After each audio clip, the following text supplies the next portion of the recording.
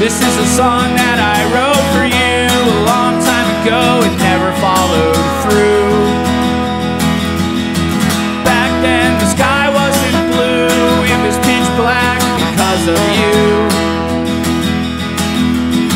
And one day you just up and ran. I'm starting to think that was always the plan.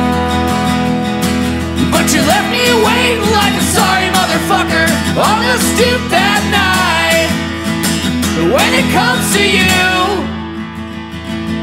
this is the last song I ever write.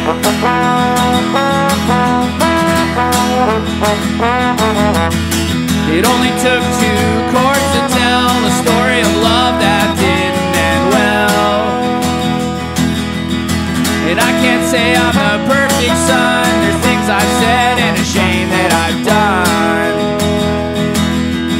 But this is how I got over you.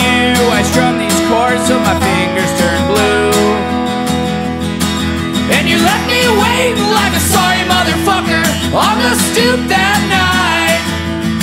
And when it comes to you, this is the last song I ever write.